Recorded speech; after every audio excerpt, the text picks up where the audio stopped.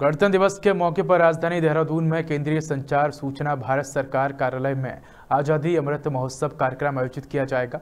इस दौरान चित्र प्रदर्शनी उत्तराखंड, कर्नाटका की झलकियों को दर्शाया जाएगा, जिसमें उत्तराखंड के मुख्यमंत्री पुष्कर सिंह धामी मुख्य अतिथि के रूप में मौजूद होंगे।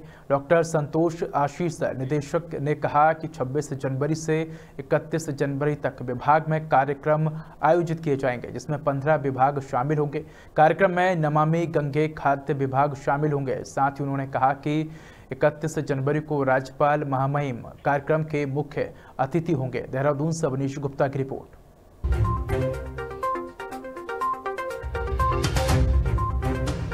केंद्रीय संचार ब्यूरो 26 जनवरी से 31 जनवरी तक छः दिन का एक कार्यक्रम आयोजित कर रहा है, जिसका नाम है गणतंत्र नमन। इस कार्यक्रम में आज़ादी का अमृत महोत्सव जिसमें आज़ादी की लड़ाई शुरू होने से लेके हमारे देश के आज़ाद होने तक की पूरी यात्रा को दिखाया गया है।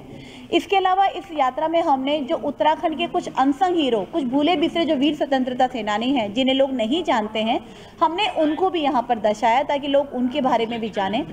इसके अलावा हमने आत्मनिर्भर भारत की आ, के बारे में चित्र प्रदर्शनी लगाई है।